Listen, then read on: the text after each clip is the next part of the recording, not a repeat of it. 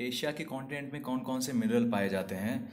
सो so, China और India के अंदर आयरन ओर के बहुत सारे डिपॉजिट्स हैं। मतलब बहुत सारा आयरन ओर पाया जाता है। एशिया के अंदर वर्ल्ड का फिफ्टी परसेंटेज टीन प्रोड्यूस होता है हमारा एशिया। चाइना मलेशिया और इंडोनेशिया वर्ल्ड के लीडिंग टीन प्रोड्यूसर्स हैं ठीक है? और चाइना के अंदर लेड एंटीमनी और टंगस्टन भी प्रोड्यूस होता है और ये भी टॉप में ही रहते हैं कंट्रीज़। और मिडल ईस्ट कंट्रीज़ जैसे कि Saudi Arabia Iran Iraq Kuwait ये सब वर्ल्ड के लीडिंग प्रोड्यूसर्स हैं यहाँ पे पेट्रोलियम और नेचुरल गैस बहुत ज़्यादा पाया जाता है। तो इसको ये एक्सपोर्ट भी करते हैं बहुत। इसी से इनको पैसा मिलता है इसी से इनकी कंट्री चलती है। एशिया के अंदर मैंगनीज बॉक्साइट निकल जिंक और कॉपर भी काफ़ी पाए जाते हैं। अब बात करते हैं यूरोप की। सो so, यूरोप भी वर्ल्ड के अंदर आयरन और बनाने में काफ़ी इसका नंबर आता है, ये काफ़ी टॉप टेन में आता है, ठीक है? तो लीडिंग प्रोड्यूसर्स है और कंट्रीज़ जिसमें बहुत सारा जो आयरन ओर है, ऐसी कौन सी कंट्रीज़ है? रशिया यूक्रेन स्वीडन और फ्रांस और कॉपर लीड जिंक मैंगनीज और निकल के डिपॉजिट्स ईस्टर्न यूरोप में और रशिया में पाए गए हैं और जर्मनी की जो रूर वैली है, ये बहुत फ़ेमस है और यहाँ पे वर्ल्ड की सबसे मोस्ट पॉपुलेटेड इंडस्ट्रियल रीजन कहा जाता है इसको। एक्चुअली में यूरोप का सबसे पॉपुलेटेड इंडस्ट्रियल रीजन जो हो कोल डिपॉजिट्स के मामले में तो ये है। पेट्रोलियम और नेचुरल गैस नॉर्थ सी में पाए जाते हैं। नॉर्थ सी के फ्लोर्स में मतलब नॉर्थ सी की गहराइयों में नीचे की तरफ़ काफ़ी पाए जाते हैं। और इसके ऊपर यूनाइटेड किंगडम और नॉर्वे अपना हक जताते हैं। ये कहते हैं कि हमारा है। और नॉर्थ अमेरिका की बात की जाए तो नॉर्थ अमेरिका में जो नॉर्थ अमेरिका का कॉन्टिनेंट है, उसमें जो कैनेडियन रीजन है कनाडा कंट्री वाला जो इलाका है, जो देखो यूएसए के अंदर ग्रेट लेक्स है, ठीक है? तो यूएसए के अंदर पाँच ग्रेट लेक्स है, उसके ऊपर का नॉर्दर्न इलाका जो है वो फिर एप्लेशियन रीजन और माउंटेन रेंजेस जो है वेस्ट में, वो।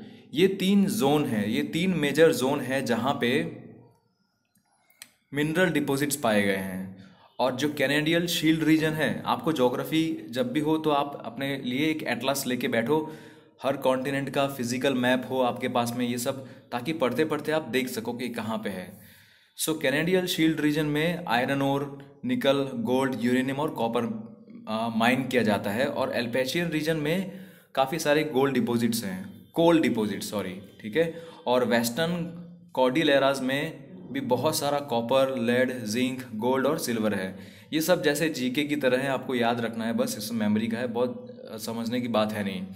और वर्ल्ड के टॉप टेन में पाए जाने वाले जो ब्यूटीमिनस और सॉफ्ट कोल्स है, वो वेस्ट वर्जीनिया वेस्ट पेंसिल्वेनिया और ओहायो और कैंटकी के बॉर्डरिंग एरियाज़ हैं। सो ये जितने भी हमने, मैंने स्टेट बोले अभी तो ये सब के सब यूएसए में हैं यूनाइटेड स्टेट्स ऑफ़ अमेरिका के सब स्टेट्स हैं। अब साउथ अमेरिका की बात की जाए तो साउथ अमेरिका में हाई ग्रेड आयरन ओर पाया जाता है ब्राज़ील के अंदर। और चिले और पेरू, ये भी कॉपर प्रोड्यूस करने में काफ़ी आगे हैं। ब्राज़ील और बोलीविया में वर्ल्ड के काफ़ी सारा, वर्ल्ड का काफ़ी सारा टीन प्रोड्यूस होता है। वर्ल्ड का लार्जेस्ट प्रोड्यूसर है टीन का। बाकी सारों के साथ में ये भी टॉप टेन में आते हैं। और साउथ अमेरिका के अंदर gold, silver, zinc, chromium, manganese, bauxite, mica platinum asbestos diamond ये भी बहुत सारा मिलता है। और मिनरल ऑयल कहाँ पे मिलता है? Mexico Venezuela Argentina Chile Peru और कोलंबिया में। बॉक्साइट ये वो ओर है जिसमें से एल्यूमिनियम निकल सकता है। तो ये साउथ अमेरिका के नॉर्थ ईस्टर्न पार्ट्स में होता है और जमाइका में होता है। दूसरा कॉन्टिनेंट अफ्रीका। अफ्रीका भी मिनरल रिसोर्सेज से भरा पड़ा है।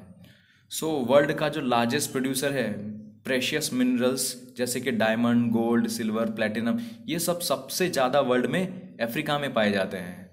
और साउथ अफ्रीका, जेर, जिम्बाब्वे, ये तीनों कंट्रीज़ के अंदर वर्ल्ड का काफ़ी सारा गोल्ड है।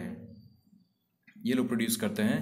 और विट वाटर स्रैंड जो रीजन है जोहानसबर्ग का, साउथ अफ्रीका के अंदर ही एक सिटी है, बड़ी सी जोहानसबर्ग वहाँ पे विट वाटरसैंड जो रीजन है, वो दुनिया का सबसे बड़ा गोल्ड का सोर्स है। यहाँ पे गोल्ड बहुत सारा मिलता है। और पिछले सौ साल के अंदर जो दुनिया भर का जो फिफ्टी परसेंटेज जो गोल्ड है, वो इन्हीं माइंस में से आया है।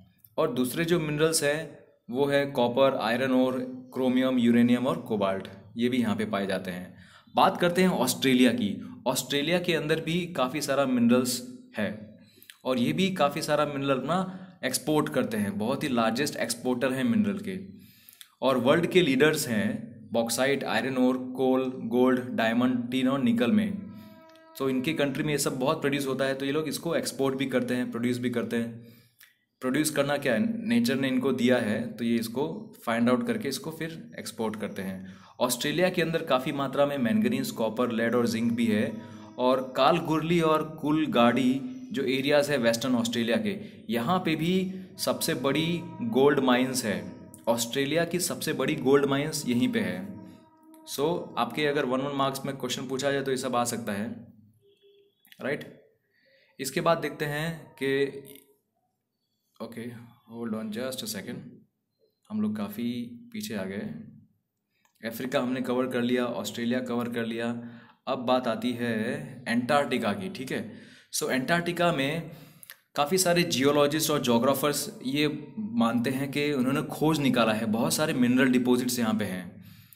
काफ़ी सारी मात्रा में है मिनरल डिपॉजिट्स और काफ़ी सारा कोल डिपॉजिट भी यहाँ पे है। ट्रांस एंटार्क्टिक माउंटेन्स जो है वहाँ पे और आयरन ओर के deposits Prince Charles Mountains of East Antarctica में पाए जाते हैं। फोरकास्ट किया गया है। मतलब भविष्यवाणी की गई है कि यहाँ पे होगा।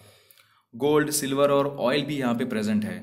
कमर्शियल क्वांटिटीज़ में मतलब कि इतना कि जितना आप उससे एक्सपोर्ट करके बिज़नेस कर सको राइट और लेकिन जो माइनिंग अगर कॉमर्शियल रीजंस के वजह से यहाँ पे की जाएगी तो उसको बैन किया गया है कि यहाँ पे आप कॉमर्शियल बिज़नेस करने के नाम पे आप माइनिंग नहीं कर सकते यहाँ पे।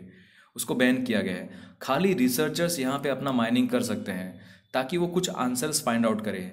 साइंटिफिक क्वेश्चंस के लिए कुछ आंसर्स फाइंड आउट करें।